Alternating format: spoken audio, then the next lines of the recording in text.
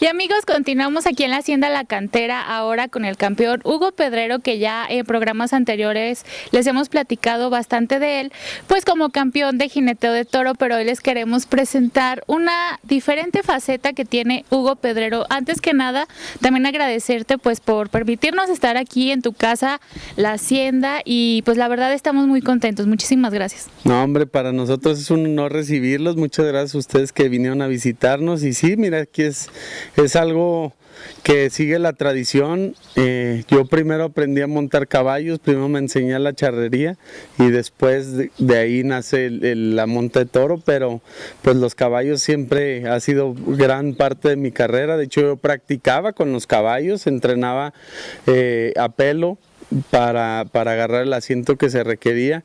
Y pues mi papá fue algo que, que nos inculcó desde chiquitos que teníamos que aprender a, a los caballos, porque pues eso, desde que ellos estaban chicos, ellos fueron campeones nacionales muchos años de charrería. Y pues ahora, ahora es mi nuevo hobby, ahora es el, colear, es, es, algo que me apasiona bastante. Y entrenamos aquí nuestros propios caballos que, que tenemos criaderos, se llama Caballos Hacienda La Cantera y estos son algunos de los de los que tenemos en, en, puerta ya para competir. A ver, Hugo, muchas veces la gente a lo mejor te pregunta lo mismo, pero nosotros queremos conocer tu lado más humano. ¿Cuál es tu caballo favorito y por qué?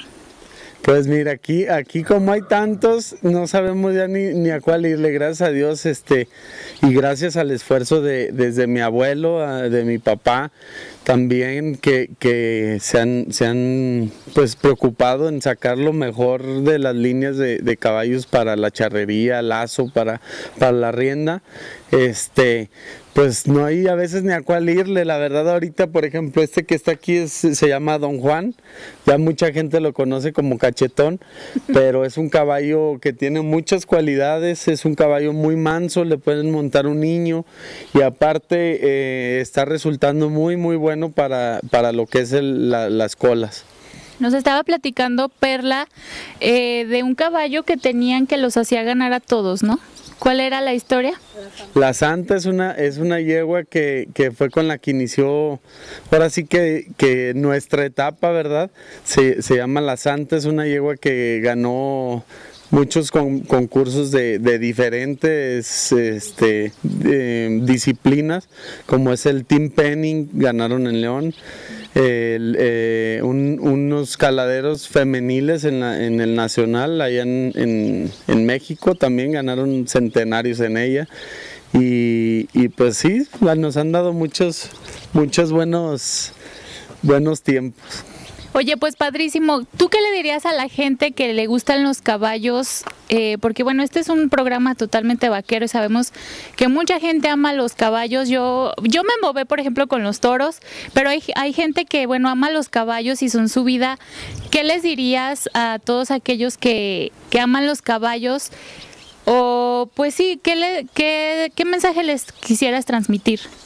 Pues mira, los caballos yo creo que te ayudan, eh, te ayudan mucho en tu, pues hasta en tu forma de ser, ¿verdad? Te enseñan a lo que es tener un compromiso con, un animal, una mascota, o a final de cuentas son, son mascotas como...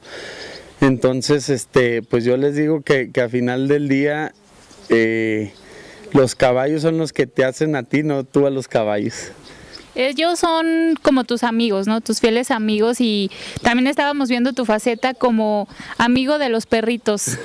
Este, muchos también aman los perritos, o sea, eso no ustedes no lo saben y nosotros se los queremos traer, pero de verdad que es lo que estábamos viendo aquí, que el amor traspasa hasta los animales, o sea, la familia que ustedes conforman, pues es súper bonita, ya lo vimos en su empresa Danger y ahora con los animales eso nos da pues mucho orgullo y también queremos hacérselo llegar a las personas que también se sienten identificadas con ustedes. Sí, bueno, pues nosotros crecimos entre los animales y, pues eh, eso nos inculcaron. Eh, así como los caballos, los toros son nuestras mascotas, los queremos y los cuidamos como si fueran nuestros perritos de casa. Aquí si tú ves, o sea, ves los caballos, no tienen una marca de, de, que los maltrates, al contrario, se acercan para que los acaricies y pues es para nosotros es nuestra vida.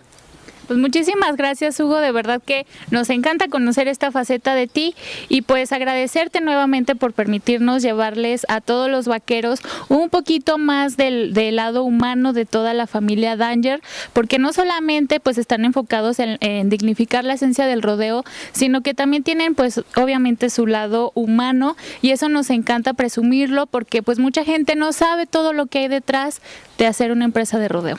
No, qué padre que vinieron y qué padre que estén haciendo algo diferente. El, la verdad es, es un tema que, que, mucha gente desconoce y los felicito también por su programa y gracias por venir. Muchísimas gracias amigos. Pues continuamos en Por Siempre Vaqueros TV.